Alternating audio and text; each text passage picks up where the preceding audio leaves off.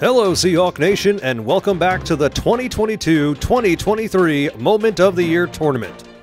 After weeks of voting, you have decided the Moment of the Year champion.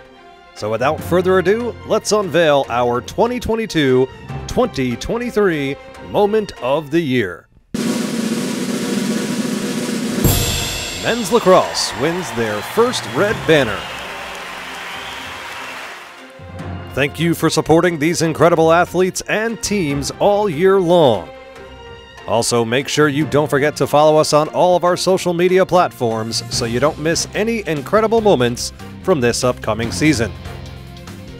For everyone here at Keiser University, we want to thank you for the continued support, and until next time, so long, Seahawk Nation.